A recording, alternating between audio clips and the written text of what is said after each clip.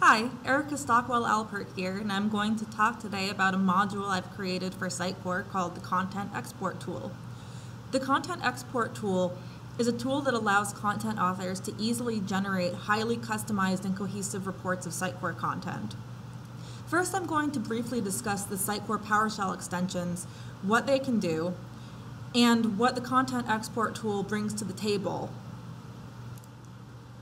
so the Sitecore PowerShell extensions offers a lot of reporting options, including content audits.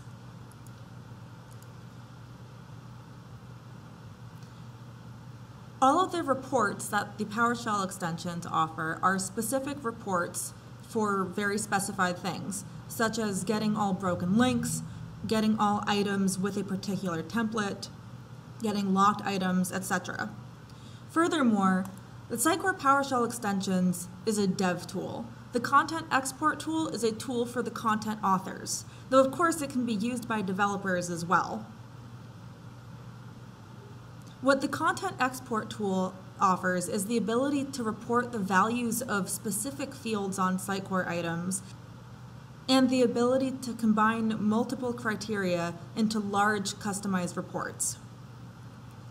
The idea for the content export tool began when my clients would frequently ask me for reports of their Sitecore content where they needed to know the values of one or multiple fields on a large number of items. And each time they made one of these requests, they needed different items or different fields. So I was writing new custom reporting tools every time. I figured that it would save a lot of work for myself and save a lot of time for my content authors if I could create one tool once and for all that would be able to satisfy any of their requests, no matter what information they ask me for. What I give you is the content export tool. Now I'm going to demonstrate how to use the content export tool. The basic functionality is to choose a starting item. This can be left, left blank, which will start at the Sitecore content root. Select the templates that you want. If this is left blank, all templates will be selected. And select the fields that you want the values of. So let's take a look at our Sitecore content. We have a number of items under Habitat Home with a number of fields such as, let's see, title, summary, body, and image. Those are the fields I'm going to retrieve. So first, in order to prevent the report from taking way too long, which can happen if you have a very large content tree, I'm going to select a starting path because I don't need anything above this node. I'm going to select the specific templates that I want. As I mentioned, if I don't select any templates, then all of the items beneath that root will be included.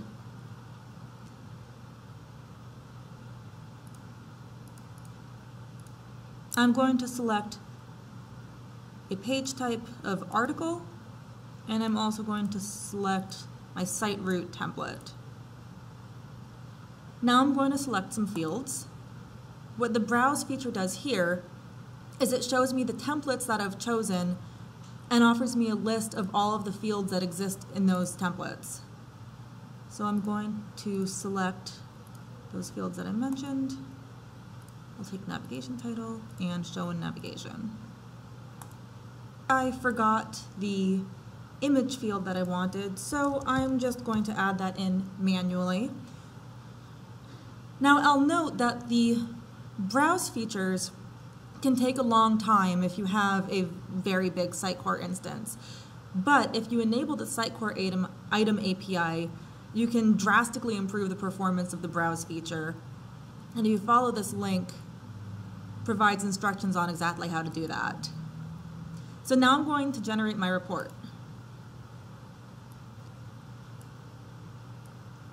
So here we've got the item path of every item. This is included by default in every report. And now we have the fields that we chose. Body, summary, title, navigation title, show in navigation, and image. So you can see here we have an image field, a checkbox field, simple text, and some rich text fields.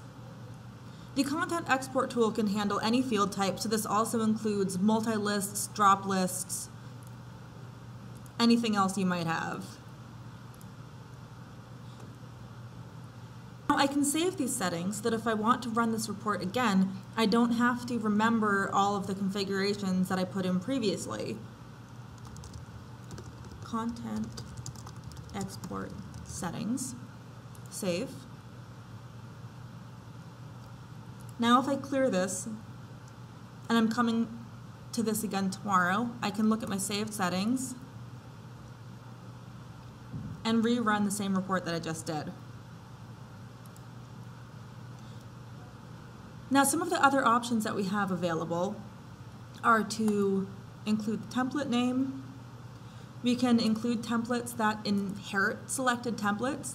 So if instead of selecting these templates here, we wanted a whole bunch of templates that all had one common inherited root, we could select just that one root and then check off this inheritance checkbox to get every template that inherits that template.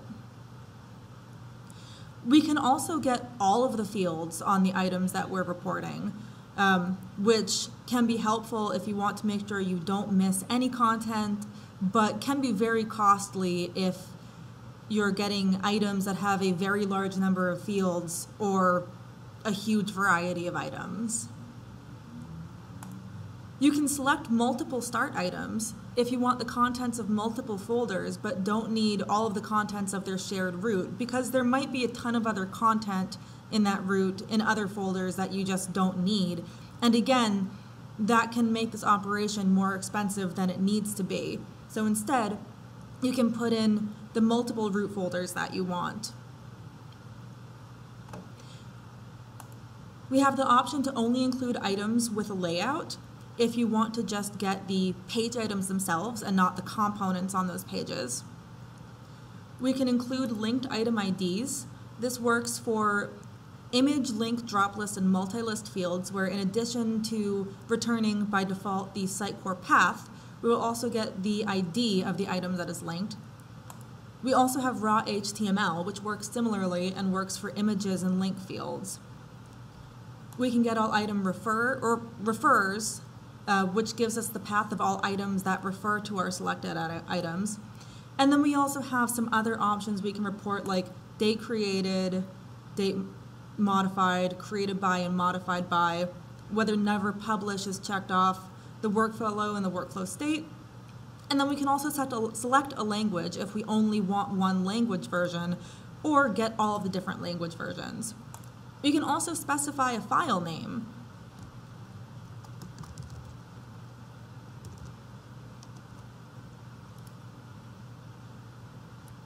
So now we have a lot more information here. We have our template name.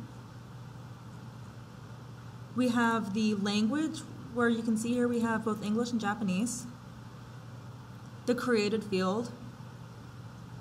And then all of the fields that we previously selected, which now includes, in addition to image, we also have the image ID and the raw HTML of the image.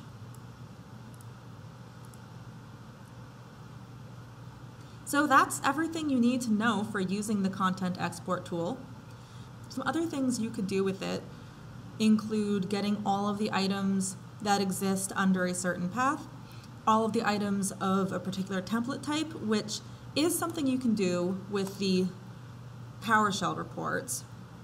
However, the PowerShell reports only allow you to select one template. That means that if you wanted a report for multiple templates, you would have to run a separate re report for each one and then combine your results of multiple spreadsheets into one report. With the content export tool, you only have to run it once, and then you have one cohesive report that includes all of the data you want.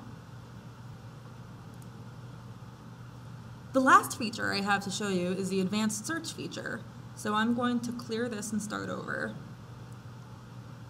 And now, with advanced search, I can use this search to find a keyword or phrase in any field in our Sitecore content tree.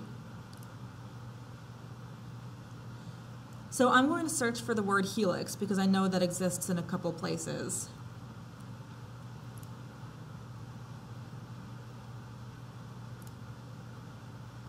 So here's a list of all of the items that include the word helix.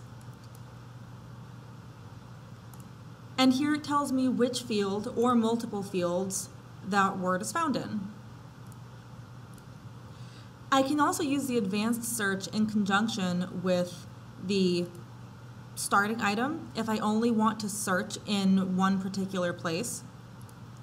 The template filters if I only want to search items of a particular template type.